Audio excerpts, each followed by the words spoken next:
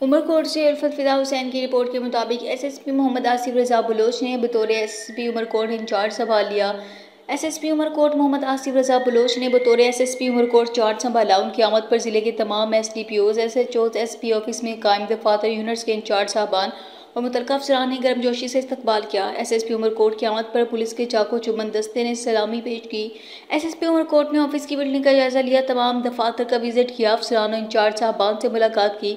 उनका कहना था कि जुराइम पेशा अफराद, मंशियात और तमाम ऑर्गेनाइज क्राइम का खात्मा अमन मान और अवाम की जान माल की हिफाजत हमारा मिशन होगा। तरजीह बुनियादों पर आवाम के मसाइल का हल और क्राइम को कंट्रोल करना वलीन तरजीह होगी। मेरे दरवाजे तमाम शहरी और पुलिस ऑफिसर्स के लिए हम वक्त